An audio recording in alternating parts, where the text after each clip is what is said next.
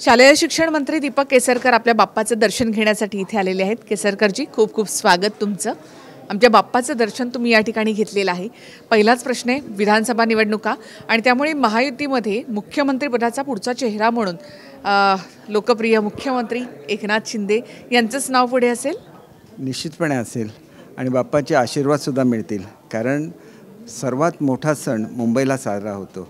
आणि जेवढ्या सुविधा शिंदेसाहेबांनी गणेश मंडळांना मूर्तिकारांना दिल्या मुंबईच्या इतिहासामध्ये ते कधीही घडलेलं नाही आहे त्याच्यामुळे बाप्पाचे आशीर्वाद निश्चितपणे दिवसरात्र काम करणाऱ्या आमच्या मुख्यमंत्री महोदयांच्याबरोबर आणि महायुतीबरोबर मुख्यमंत्री स्वतःला वेगळं समजत नाहीत. त्यांची आणि फडणवीसांची एक जोडी महाराष्ट्राला माहिती आहे की जे विकासाच्या दृष्टीने काम करतात आणि आता त्याच्यामध्ये अजितदादांची सुद्धा त्यांना जोड मिळालेली आहे. त्याच्यामुळे निश्चितपणे चांगलं काम हे ते मुंबईसाठी करतायत महाराष्ट्रासाठी करतायत. आणि आपल्याला माहिती आहे लाडकी बहीण योजना दिलेली आहे. आपल्या जे तरुण आहेत त्यांच्यासाठी स्टायपेंडची योजना दिलेली आहे.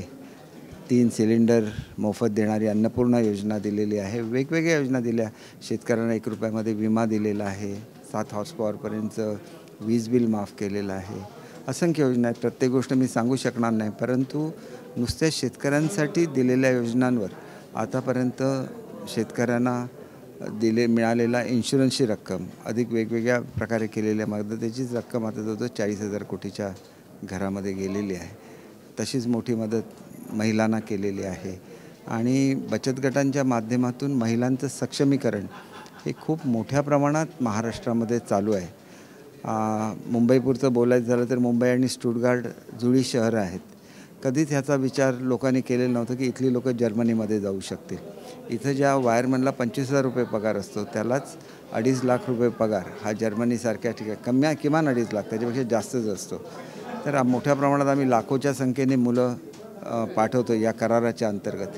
हे महाराष्ट्रामध्ये कधीच घडलं नव्हतं. पहिल्यांदा घडतं आहे आणि त्याच्यामुळे मुंबईचं रूप पालटतं आहे तुम्ही स्वतः बघितलेलं आहे की मुख्यमंत्री त्याच्यामध्ये स्वतः इंटरेस्ट घेत आहेत कॉन्क्रीटचे रस्ते होत आहेत आपला दवाखाना होतो आहे आणि मला तुम्हाला एक गोष्ट मुद्दाम सांगायची की जो पोलीस कर्मचारी दिवस रात्र मुंबईचं रक्षण करतो त्याची घरं अमूलाग्र बदलत आहेत हे आम्ही जिल्हा नियोजन मंडळातून केलं.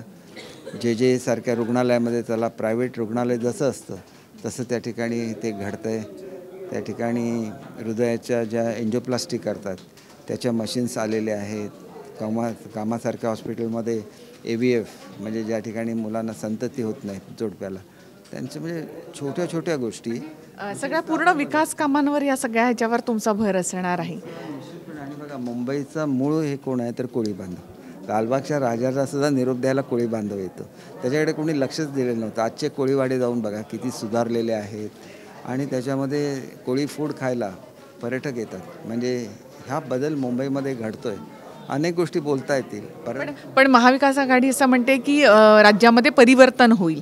तुम्हाला असं वाटतं की परिवर्तन होईल किंवा मग महाविकास आघाडीमध्ये उद्धव ठाकरेंचाच चेहरा पुढे केला जाईल? वाटतं तुम्हाला उद्धव ठाकरे पुन्हा मुख्यमंत्री होतील? ज्या अपेक्षेने त्यांनी बाळासाहेबांच्या विचाराला तिलांजली दिली आज त्यांचा मुख्यमंत्री म्हणून सुद्धा त्यांच्या नावाची अनाऊन्समेंट महाविकास आघाडीने केलेली नाही आहे एक कशा रीतीने काँग्रेस फसवू शकतं? हे सगळ्यात जास्त बाळासाहेबांना माहिती होतं.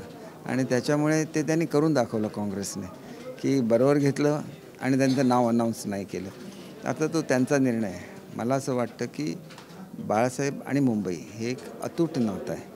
आणि अशा परिस्थितीमध्ये मुंबईवर आपला कंट्रोल यावा म्हणून काँग्रेसने घेतलेला तो निर्णय असेल. मी त्याच्यावर काही जास्त बोलणार नाही. त्यांची स्वतःची आघाडी आहे. आम्ही मात्र बाळासाहेबांच्या विचाराबरोबर राहिलो. आणि त्यांच्या स्वप्नातला महाराष्ट्र उभा करण्याचा आदरणीय शिंदेसाहेब दिवस रात्र त्याच्यासाठी काम करतायत फडणवीस साहेब काम करतायत.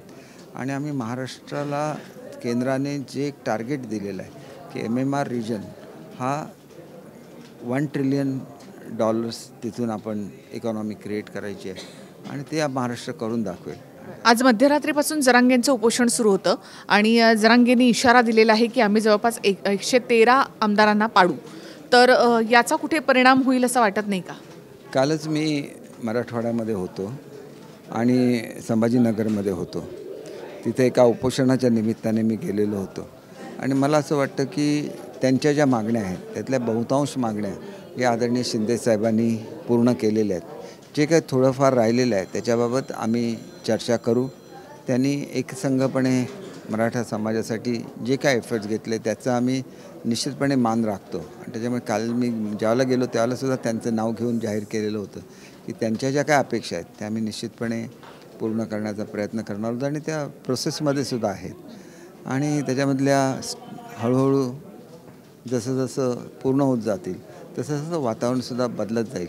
परंतु मराठा समाजाच्या मागण्या पूर्ण करण्यामध्ये गेल्या महाराष्ट्राची स्थापना झाल्यापासून सर्वाधिक काम कोणी केलं असेल तर ते आदरणीय शिंदे साहेबांनी केलं. पण आता उपोषण सुरू होते. मग आधी जसं उपोषण सुरू असताना जरांगेंच्या भेटीगाठी घेतल्या जात होत्या सगळे मंत्री जाऊन त्यांची समजूत काढत होते. मग आता हा सिलसिला पुन्हा एकदा सुरू होणार का? बघा नुसत्या भेटी घेतल्या नाहीत तर मराठवाड्यामध्ये कुणबी प्रमाणपत्र मिळत नव्हती. ती कुणबी प्र प्रमाणपत्र उपलब्ध करून दिली.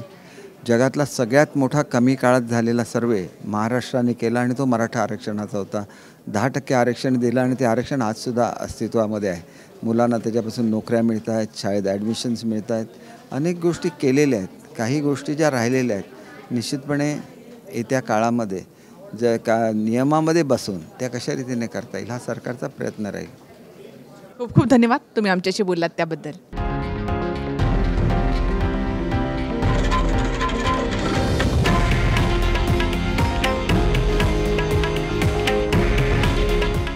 आहे देशातील नंबर वन न्यूज नेटवर्क.